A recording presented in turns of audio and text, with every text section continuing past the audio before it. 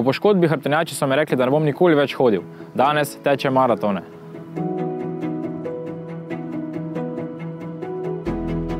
Ena ura surfanja je zapečatila mojo športno kariero in me postavila na invalidski voziček.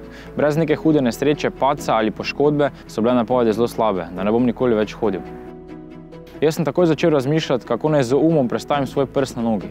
Definitivno ni bilo to preko noči, ampak z pomočjo veliko truda, dela in osredotočenosti na treninge se mi je uspelo postaviti na noge. Tek je bil zame najprej izziv, kako sploh teči ponovno. Danes pa mi pomeni veliko več. Pol leta nazaj sem lahko hodil 5 km, danes lahko 10 in upam, da mi bo uspelo priti vse do 42 km, kar bo zame pomenilo posebno zmago. Tek mi v življenju pomeni izziv, hkrati pa tudi svobodo. To se šele zavedaš, ko ne moreš teči in hoditi. Z udeležbo na Volkswagenu Ljubljanskem maratonu sem dokazal sebi in pa ostalim, da se z trdim delom da dosegati nemogoče.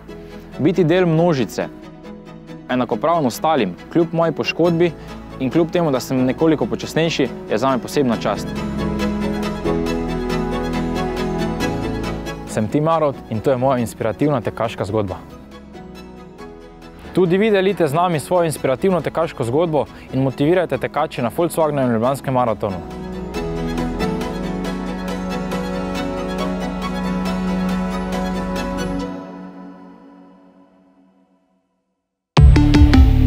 Volkswagen